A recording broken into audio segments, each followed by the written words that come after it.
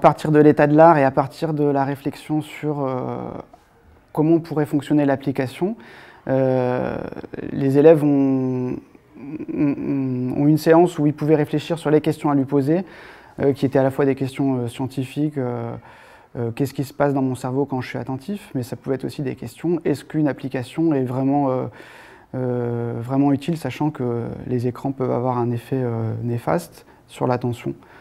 Euh, les écrans nous déconcentrent-ils? Pourquoi?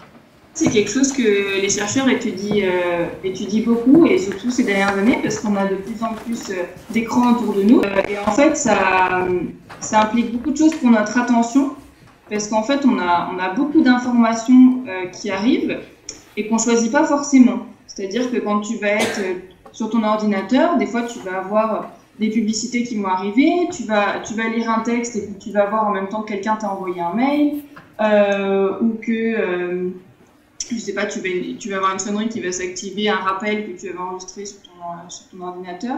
Donc, en fait, ce qui, ce qui pose pas mal de challenges, c'est qu'on a vraiment beaucoup d'informations qu'on ne va pas forcément chercher, et donc il faut vraiment qu'on puisse sélectionner cette information et euh, qu'on se focalise sur, sur, euh, sur ce qui nous intéresse. Et il y a aussi des, formats qui sont très différents. Si tu lis un texte sur un ordinateur, ce ne sera pas la même chose que de lire sur un format papier où tu as juste une page avec ton texte. Euh, donc ça, c'est quelque chose, oui, vraiment qui, euh, qui peut euh, modifier la manière dont on porte attention aux choses.